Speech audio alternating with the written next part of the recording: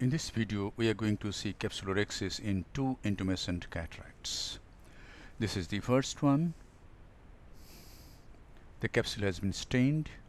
This is 2% hydroxypropyl methyl cellulose filling up the anterior chamber and it has been applied over the corneal epithelium for better visibility. And now a 26 gauge bent needle is taken, goes through the right side port it incises the anterior capsule and turns and it makes a C flap. This C flap is converted into a small rhexis. I can call it a mini rhexis. This mini rhexis can tolerate some amount of resistance when we aspirate some cortical matter and a 23 gauge Simcoe cannula is being used to remove some cortex. And now the nucleus is tapped and rotated. As the nucleus is tapped and rotated, lot of lot of cortex from behind come along the equator anteriorly and they are aspirated. In this way, a thorough decompression of the capsular bag is done. The nucleus is rotated clockwise as well as anti-clockwise and lot of cortex comes out. And now the capsular bag is completely decompressed. There is the, there is no high intralenticular pressure at this moment. So the capsulorhexis ca can be done very easily.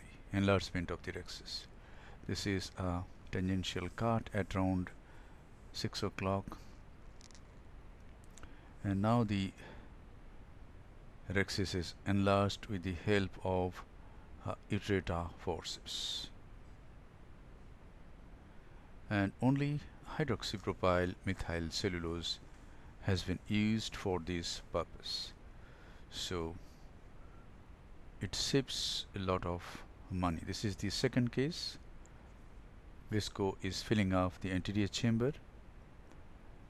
And now the 23 gauge bend needle is used to incised and make a C flap some cortical matter comes out. This C flap is rotated and converted into a small rhexis. There was some tendency to go to periphery but it can be easily controlled.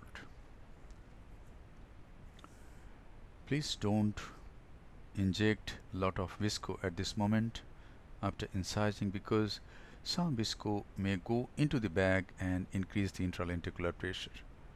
So uh, the same way a lot of cortical matter is being removed. The nucleus is tapped and the nucleus is rotated and a lot of cortical matter which is behind the nucleus comes along the equator and it is aspirated. In this way the bag is completely decompressed. The intralenticular pressure is actually on the negative side. So there will be no tendency of the capsule to run to periphery as we try to enlarge this mini rhexis. Now see what happens in this case. As I take a Vannas scissor and make a cut before that visco is injected again methyl cellulose and now as I use a Vannas scissor to cut the margin of the rhexis see what happens.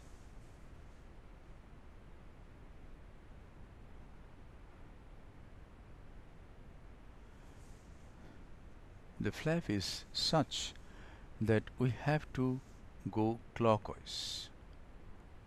Otherwise we have to make another cut somewhere to go anti-clockwise so in this case I am doing it clockwise and enlarging the mini rhexis into an optimum sized rhexis. Thank you very much for your attention. Hope this video will help you in doing capsulorhexis in your intumescent cataracts.